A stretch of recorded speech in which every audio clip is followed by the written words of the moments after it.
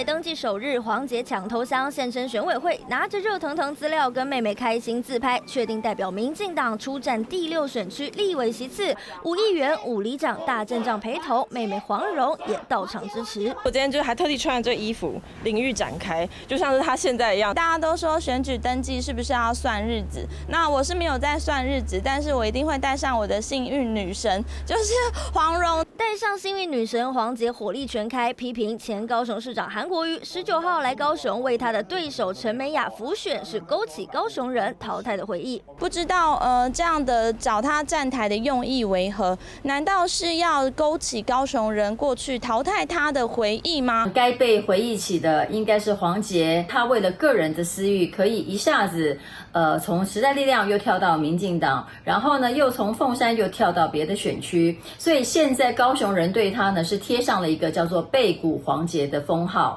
蓝绿开战，国民党八位立委参选人预计周二上午一起到选委会登记。至于民进党高雄的现任立委邱志伟、邱意莹、赖瑞龙，还有嘉义的候选人蔡依瑜、陈冠廷，都选在第一天完成登记，不浪费一分一秒，要继续跑行程拼选票。三立新闻廖国雄、朱俊杰连贯驻惠山南部综合报道。